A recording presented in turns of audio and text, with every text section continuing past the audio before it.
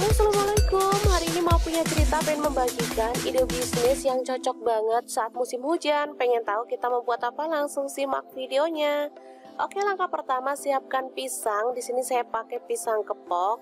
Langsung dipotong-potong sesuai dengan selera ya teman-teman. Saya pakai satu sisir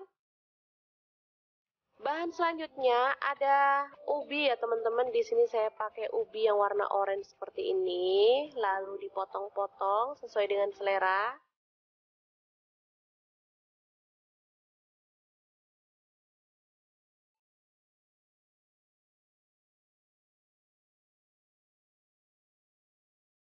Selanjutnya untuk ubinya kita akan kukus dalam dandang sampai dia itu empuk ya.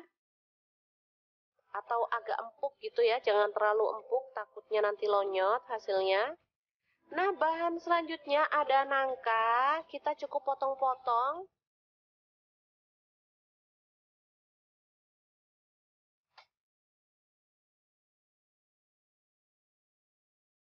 Nah ini ubinya udah empuk jadi kita boleh angkat dan sisihkan lebih dulu.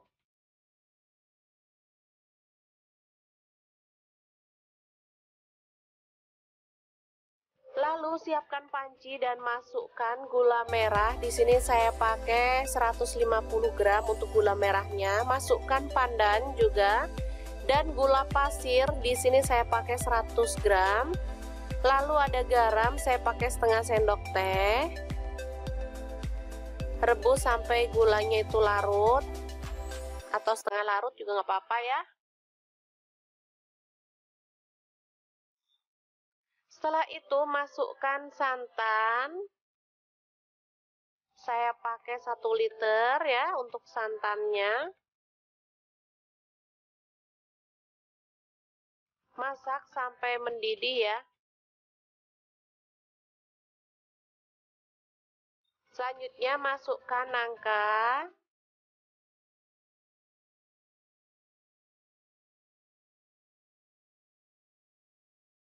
Lalu pisang.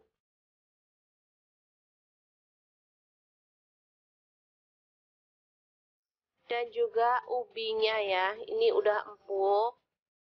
Jadi tinggal dimasak sebentar aja. Kita bisa langsung matikan apinya. Karena posisi ubi udah mateng dan pisang itu dimasak sebentar dia juga udah mateng. Oke ini aromanya sangat harum banget. Dan pastinya sangat disukai semua orang saat musim hujan seperti ini ya teman-teman. Oke, setelah dingin atau hangat, kita bisa sajikan dalam mangkuk atau dalam cup-cup seperti ini atau biasanya tuh bisa dikemas dalam kemasan plastik dan ini bisa langsung dipasarkan. Sangat enak banget dan pastinya mudah banget cara membuatnya. Oke semoga informasi ini bisa bermanfaat untuk teman-teman semua ya. Terima kasih kunjungannya. Assalamualaikum